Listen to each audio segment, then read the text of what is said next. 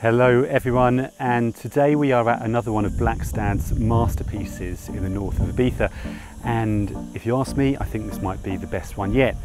Can Pepe, which you can see behind me, is located just a stone's throw outside of San Carlos village and the house is an absolute beauty.